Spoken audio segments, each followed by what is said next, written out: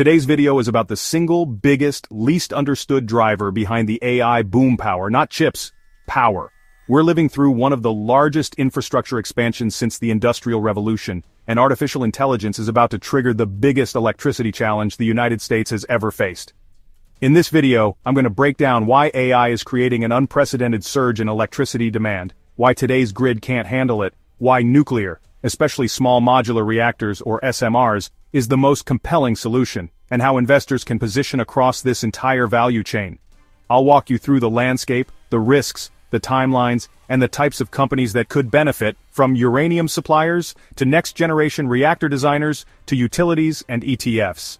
Stick with me to the end. I'll also share a simple one-ticker way to get diversified exposure to the nuclear theme. If you've ever uploaded a photo, fired off a tweet, asked an AI to summarize a document, or prompted a model to write code, that task didn't happen in the cloud. It happened in a data center, a giant industrial-scale computing facility running 24-7, 365. In the United States alone, there are thousands of these sites humming away non-stop. Some are so vast it's hard to visualize them. Take one of Meta's campuses in the Pacific Northwest. Millions of square feet under roof, the size of dozens of football fields capable of housing a small airport's worth of metal and silicon. That's the scale. Now here's the part most people miss. Every single data center is a power hog by design. It has to be. Massive racks of servers, accelerators, and networking gear, industrial cooling systems, redundant power, battery backup, and around-the-clock operations. And AI workloads are dramatically more energy-intensive than traditional internet tasks. Training and inference for large models consume staggering amounts of electricity. Today, AI data centers already use a meaningful slice of United States power. By the end of this decade that share could balloon to a level that forces a wholesale rethink of how we generate and deliver electricity in America. Let's make this real. If you add up the total power draw of hyperscale AI buildouts, they're on track to rival or even exceed the annual electricity consumption of entire countries. And that surge is crashing into a United States grid largely designed in the 1960s and 70s for a smaller population, and a totally different industrial profile. Aging transmission lines, limited spare capacity, and long interconnection queues were already a bottleneck before AI. Now multiply demand, add speed, and compress the timeline, that's the challenge. America will solve this, we always do. The real questions are how fast, with what mix, and who benefits. We need power that's scalable at industrial levels, reliable. 24-7 baseload power, not just when the sun shines or the wind blows, clean, because hyperscalers are pushing aggressive emissions targets, deployable, able to get from blueprint to electrons in a realistic time frame, and cost-effective over decades, not months. When you run that checklist, you keep landing on the same answer, nuclear and specifically small modular reactors, SMRs, and even smaller microreactors for distributed data center adjacent generation. Let's address the elephant in the room, safety. Popular culture has colored perceptions of nuclear for decades, but the data tell a different story. On a per unit of energy basis, nuclear's historical fatality rate is near the bottom of the chart, safer than coal, oil, biomass, natural gas, and even hydropower. Only utility-scale solar is lower. Nuclear plants also produce dense, steady, carbon-free electricity. A single pellet of uranium contains energy comparable to astonishing amounts of fossil fuel. That's energy density, and density is destiny when you're trying to power AI at scale without blowing past emissions targets. The symbolism of legacy sites coming back as clean power hubs for cloud and AI is powerful. You're seeing blue-chip tech companies line up long-dated power purchase agreements with nuclear assets. Why? Because they can't afford downtime, and they can't afford to miss their decarbonization commitments. They need always-on, zero-carbon baseload. Nuclear uniquely fits that bill. On the policy side, We've seen bipartisan momentum around modernizing regulation for advanced reactors, streamlining permitting and lowering barriers to safer designs. For once, policy, corporate demand and technology are rhyming. Traditional gigawatt-scale nuclear plants are engineering marvels but they're massive, expensive, and slow to build. SMRs attack those pain points. Smaller footprint, think about 10 acres versus hundreds for legacy plants. Factory-built modules with standardized ship-then-assemble components reduce on-site complexity. Passive safety systems use designs that rely on basic physics, gravity, convection, instead of complex active systems. Long refueling cycles up to decades in some designs mean lower operational interruptions. Right-sized output, roughly 50 to 300 megawatts per reactor, is enough to power a small city or a large AI campus, and you can scale them in clusters. Siting flexibility means they can be placed near demand, close to data centers, industrial hubs, or integrated into existing grid nodes. Imagine a world where, instead of waiting years for a huge plant and miles of new transmission lines, a data center campus can co-locate with modular nuclear generation. Less line loss, fewer interconnection headaches, predictable, clean baseload power matched to load growth. That's the vision SMRs bring to the table.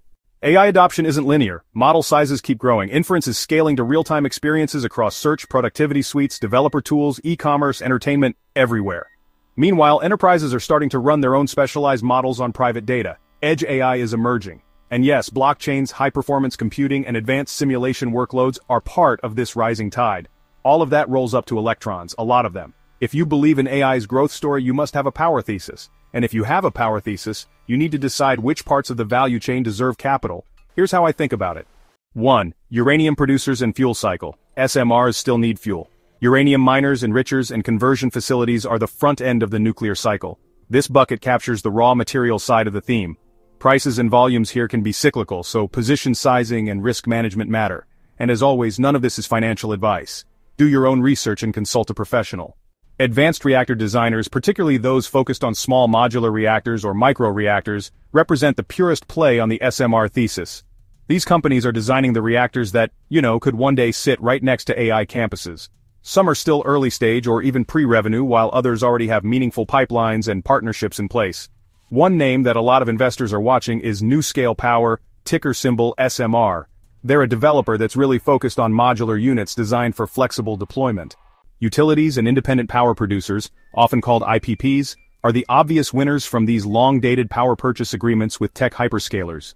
Utilities with existing nuclear fleets, or IPPs that are positioned to own and operate next-generation reactors and sell firm clean power at premium contracts, well, they could see some pretty attractive economics. Especially if regulatory frameworks are supportive and capital costs are shared. Even modular reactors need a ton of heavy engineering vessels, pumps, heat exchangers, control systems, and solid construction management. So, Tier 1 EPCs, engineering, procurement, and construction firms, and specialized component makers can really benefit from a wave of standardized deployments that, honestly, could reshape the whole industry. So SMRs solve a big piece of the puzzle but, you know, transmission upgrades, substations, interconnect gear, high voltage equipment, and grid edge software are still essential. Companies in this bucket profit from tying it all together, especially near dense load pockets around major metros. If you want diversified exposure without picking single names, there's actually a nuclear and uranium ETF, the VanEck Uranium and Nuclear Energy ETF, which trades under the ticker NLR, that bundles many of the sector's core holdings into one position. One ticker, one trade, broad coverage. Let's tackle the common pushbacks head on. Nuclear is too expensive. Legacy megaprojects were costly and slow, no question. SMRs change the cost equation via manufacturing. When you move from bespoke, one-off builds to replicated factory-produced modules costs really have a path to come down with learning curves and supply chain maturity. Plus, if a hyperscaler is the anchor customer, financing and contractual certainty improve. And remember, the alternative is not free power.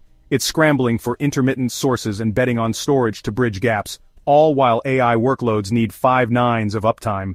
So, what about waste? Well, waste volumes from nuclear are actually pretty small compared to what we get from fossil fuels, and with modern practices it can be safely contained. Longer refueling cycles and advanced fuel forms are making things even better, optimizing the whole waste profile, and, you know, some next-generation concepts are aiming for even more fuel efficiency and new recycling pathways. The point isn't that waste doesn't exist, it's just that it's manageable, especially when you compare it to the public health costs of combustion-based energy. Isn't permitting a nightmare? Yeah, it can be.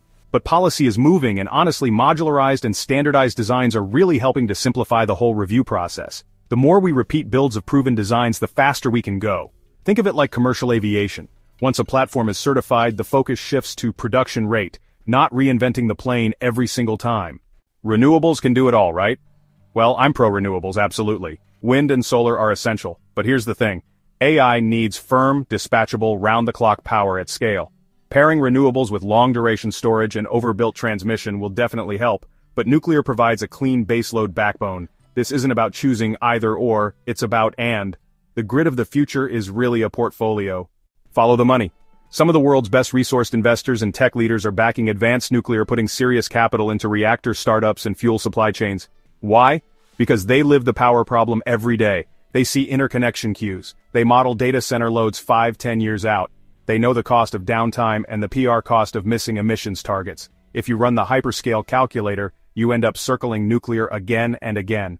We're also seeing enterprise customers enter long-term, take-or-pay power contracts, effectively underwriting new clean capacity to secure dedicated electrons. That's new. Historically nuclear output fed the grid. Now you're seeing a model where dedicated clean baseload is committed to an AI campus. Expect more of that as competition for capacity intensifies. Phase 1. Commitments and Contracts. Watch for power purchase agreements, siting announcements, and regulator milestones. This is where OEMs and utilities line up financing, permitting, and anchor customers. Phase 2. Manufacturing and Supply Chain Buildout. Component suppliers, heavy equipment fabricators, and EPC partners ramp. Early movers with proven quality and delivery records can gain share as programs standardize. Phase 3. First wave deployments. Pilot SMRs come online at strategic locations, near large AI campuses or grid-constrained metros. Early data on uptime, operations and maintenance costs, and safety performance builds confidence. Phase 4. Replication and clustering. Once the template is locked, replication drives costs down and timelines shorter. Multiple modules cluster at high-demand sites, financing gets cheaper, the flywheel spins. Throughout these phases, expect grid investments to run in parallel, substations, transformers, undergrounding, high-voltage upgrades, and grid-edge orchestration software to balance local generation and variable renewables. Even if the long-term thesis is solid, execution risk is real. Here's how I think about it. Diversify across buckets. Don't bet only on one SMR OEM or only on miners. Blend fuel OEMs, utilities and independent power producers, grid enablers and an ETF sleeve for ballast. Size for volatility. Early stage designers can be headline sensitive, so keep speculative positions smaller. Timeline patience is key. Nuclear is measured in years, not quarters, so anchor to multi-year theses and avoid overreacting to single headlines. And policy watch, follow permitting reforms, advanced reactor approvals and incentive structures, since these can be catalysts. Counter-thesis discipline matters too. Track storage breakthroughs, demand-side efficiency gains or architectural shifts in AI that could temper power growth and adapt as the facts change. From the SMR developer camp, one public name many investors study is NuScale Power, ticker SMR, focused on modular reactor technology aimed exactly at the kind of flexible, scalable deployments AI campuses need. On the diversified side, a simple way to get broad exposure is the VanEck Uranium and Nuclear Energy ETF, ticker NLR which holds a basket of uranium and nuclear-related equities. Utilities and independent power producers with nuclear exposure, uranium producers, fuel cycle companies, engineering, procurement and construction firms, and grid enablers round out the shopping list. I'm not telling you what to buy, that's your call, but those are the categories I'm watching closely. If you think you missed the AI rally because you didn't buy chips early, don't assume the opportunity is gone. The next wave of AI investing isn't just about semiconductors. It's about the infrastructure that keeps those chips fed with electrons.